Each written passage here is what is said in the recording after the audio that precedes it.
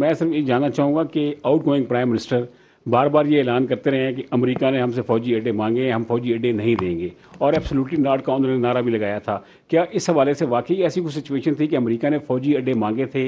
या military leadership भी इस हवाले से यार बोर्ड थी कि नहीं? और दूसरा सर ये बता दें कि मुख्तलिफ़ खबरें भी आ रही हैं कि नौ अप्रैल की रात जब ये सारा मतलब प्राइम मिनिस्टर जा रहे थे तो आर्मी चीफ की या किसी कोर कमांडर की उन पी एम हाउस में उनके साथ कोई मुलाकात हुई थी? मुख्तलिफ़ खबरें इस हवाले से गर्दिश कर रही हैं। असल सूरत हाल क्या है, वो ज़रा रहनमाई कर देखिए, मैं आपका दूसरे क्वेश्चन का पहले जवाब दे दूँ, ये बिल्कुल झूठ है।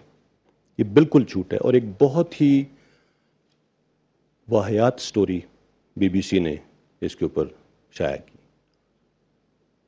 I am sorry for using this word ये इतनी इससे ज़्यादा बड़ा झूठ किसी एक ऐसी इंटरनेशनल लीडिंग एजेंसी की तरफ़ से नहीं हो सकता। कोई ऐसी चीज़ नहीं और आ, इस बारे में जो एक मन घड़त किस्म की स्टोरी कि कोई वहाँ पे गए और किसी ने उनसे कोई कुछ नहीं है। देर इज़ नथिंग कोई वहाँ पे नहीं गया।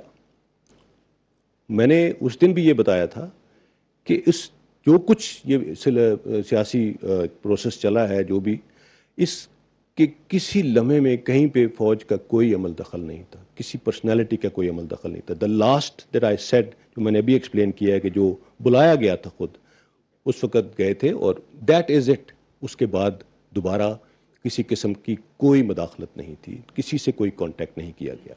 So let me put this this thing to rest ये र्यूमर ये बिल्कुल झूठ है और अनफॉर्चुनेटली ये उस बीबीसी स्टोरी के अंदर जो बनाया गया जो मैंने ऑलरेडी उसके ऊपर ऑन रिकॉर्ड मैंने एक प्रेस रिलीज़ दिया था। आपने बात की फौजी अड्डों की। देखिए मेरे ख्याल में प्राइम मिनिस्टर साहब से एक इंटरव्यू में किसी ने ये पूछा था कि अगर आपसे ये मांगे जाएँ तो आप उन्होंने कहा था कि एब्सोल्युटली नॉट और अगर मांगे जाते अड्डे तो फौज का भी यही मौकफ होता। और आ, असल ये है कि उन्होंने मांगे भी नहीं।